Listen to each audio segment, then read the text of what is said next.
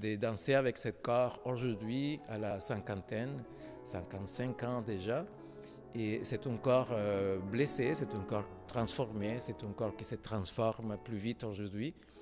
Et c'est ça qui m'intéresse de cette pièce, c'est de danser avec cette vérité, avec cette euh, vieillesse, entre guillemets, et de trouver l'esprit derrière tout ça. Parce que, comme le voyage d'hiver, je trouve que le voyage d'un danseur, chaque fois qu'on danse, on danse vers notre mortalité, vers le dernier spectacle.